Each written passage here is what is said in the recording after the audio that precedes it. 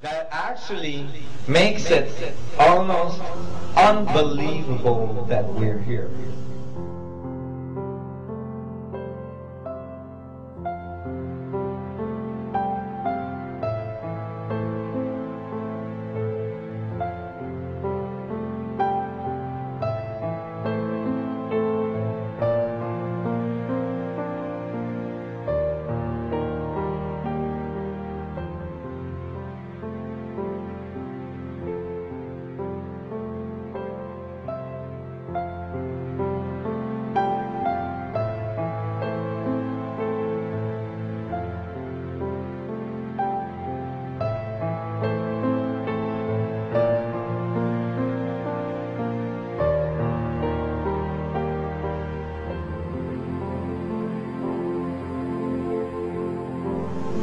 Unbelievable.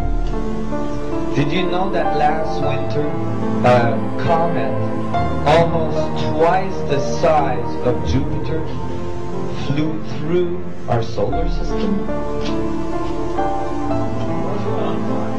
Yeah, they didn't talk about that one.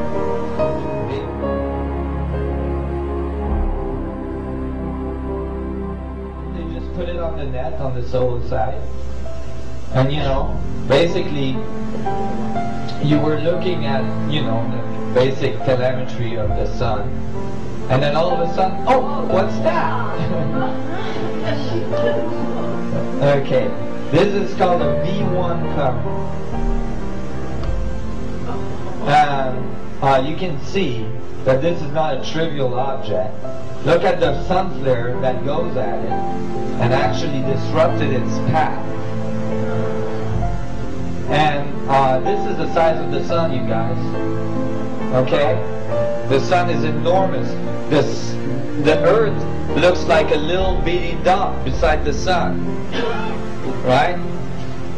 This is a huge object flying right towards the sun, actually, and went around the sun. Astronomers thought it was going to hit the sun. That's why they thought we were toast. Um, but it looks, and I'm not sure about this, I, I, I, this is extremely difficult to get data on this. They won't talk about it much.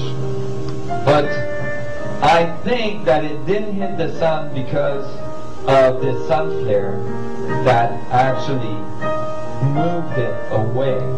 Did you see that? Uh, I believe that we were given another chance. Well, I think we're floating in grace. We're definitely floating in grace at this point, and somebody is taking care of us.